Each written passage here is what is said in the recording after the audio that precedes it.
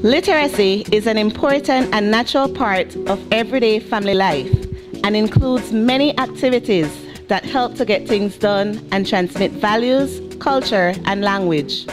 The Ministry of Education, through the Belize Literacy Unit, recognizes the importance of parents in the literacy development of their children and to support families in reading activities. It is our hope to build capacity at the community level to develop and improve literacy standards in the country of Belize. I'm Rosalind Bradley, the Literacy Coordinator for the Ministry of Education.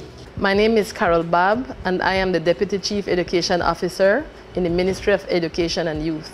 Traditionally, literacy is reading and writing, but more recently, um, literacy has take on several meaning in terms of technological literacy, mathematical literacy, and so on. And so the levels of literacy has really um, increased. The demands of functional literacy is um, really higher. And so literacy is not just limited to reading and writing, but includes interpretation, being able to express and communicate yourself. Um, the goal of the Ministry of Education is to improve the quality of education that we provide to all students. And we realize that literacy is the foundation for all other forms of learning. So we developed the, or we established the literacy unit because we realized that literacy is very, very important. It is very essential for all other subject areas. If our students cannot read and write properly, then they will not be able to do any other subject area. The theme for international literacy is literacy and peace. And that is a kind of interesting theme when, you know, when you think of literacy and peace. But when you think about it in terms of the whole idea that literacy actually impacts the way we behave and the way we carry ourselves, even the way we communicate and we relate to each other.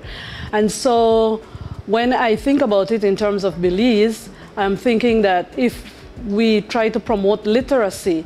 It also has to do with how we relate to each other, um, the level of respect that we give to each other. And so, again, literacy has taken a broad, uh, very broad perspective. I would just like to encourage parents, um, teachers, students to expose their young people to books at a very early age.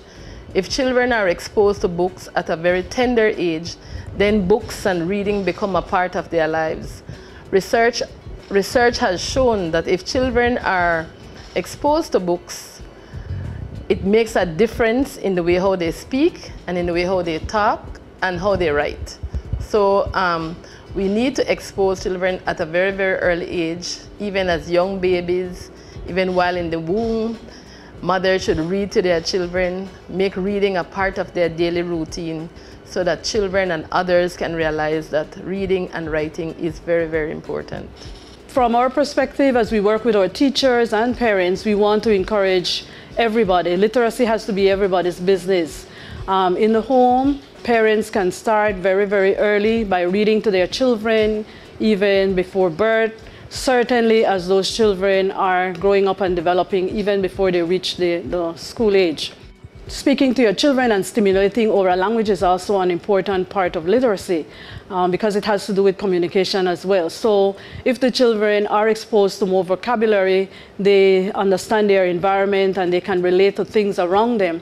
That is the foundation of literacy. So just speaking and stimulating your children, taking time to play with your child, to talk to your child, and certainly reading with your child can be very, very instrumental in promoting literacy.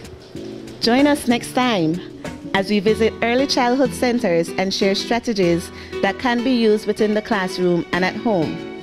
Remember, it's not me, it's not you, it's us. Literacy and peace. Book a place in the future.